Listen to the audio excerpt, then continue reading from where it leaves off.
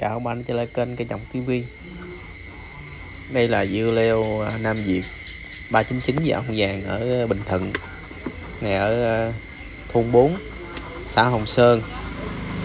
Có một à, anh chồng cũng có cái video trước cũng ở Bình Thuận đó, ở Hàm Thuận Bắc. Đằng này anh chồng 399 với ông vàng. Thì bữa nay được 24 ngày ngày anh quay anh ghi clip cho mình thì ờ, dưa của anh thì nói chung là anh sử dụng ờ, đạm cá của mình không đó. Cứ 4 ngày tưới một lần. Thì ờ, dưa này bò cũng hơn một mét rồi nè. 24 ngày mới mới có nở bông, những bông đầu tiên á. Thì mới đầu anh nói mình cũng không tin nữa hay sao 24 ngày mà bò quá quá cao.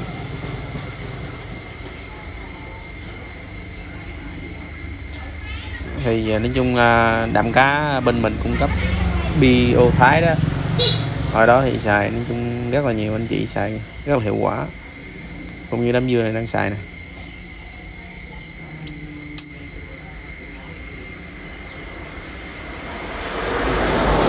Các bạn coi mang tự à, cảm nhận mấy khúc mà thấp là nó bị mắc mắc lỗ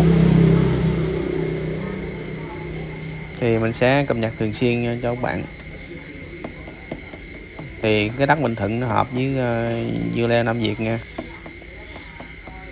Theo bằng này em trồng hai vụ rồi đó, vụ nào cũng đạt hết đó thì nữa có trái chăng mình sẽ kêu ảnh quay cập nhật lên ờ, cho các bạn xem.